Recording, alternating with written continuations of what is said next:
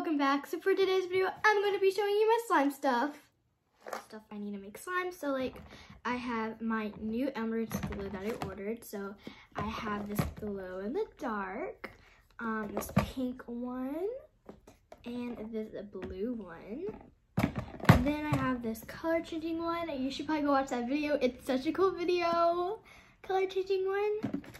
And then back here, I keep my ingredients just in case if I haven't played slime in like a long time and I don't know how to make the borax ingredient, I have this. I'm going to show you like my food coloring, my activator. So I use borax, um, I have shaving cream, and guys, here's a tip for using borax. I recommend do not use a plastic spoon because what it does, it breaks your spoon. And here's some proof. It breaks the spoon. So I recommend using a metal spoon if you're going to um, use some borax. Okay, so I have some food coloring and um, then I'm going to move on to my accessory bin. This is where I use basically some cute little things to add. So like I have these blue foam beads um, I have these like, I'm guessing these are like peachy colors. They're really cute.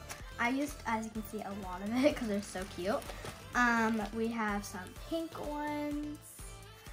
Um, we have some white ones. Uh, purple ones. Ooh, these are my favorite ones because they're colorful. These are my favorite ones. Um, then we have some green ones. They're like a minty color, really cute.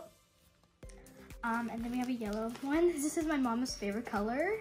Okay guys, so I'm going to show you my charms. Like everyone got to love the charms. It's just the cutest thing to add a slime. Okay, so we have this little like little bunny thing.